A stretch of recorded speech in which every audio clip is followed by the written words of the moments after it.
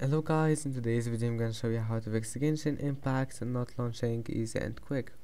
If you want to fix this problem, all you need to do first just uh, right click here and go to task manager.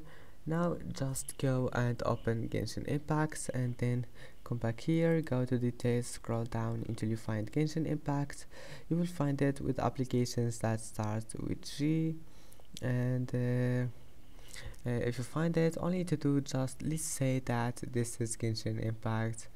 Uh, right click on it set priority and make it high and click change priority. And uh, I don't mean to do it to this one here. Just scroll until you find Genshin Impact and click on it right and right click on it and do it. And uh, that's it. After that right click on your PC go to NVIDIA control panel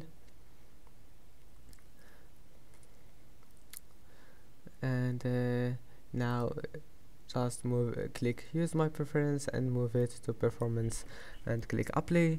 And that's it.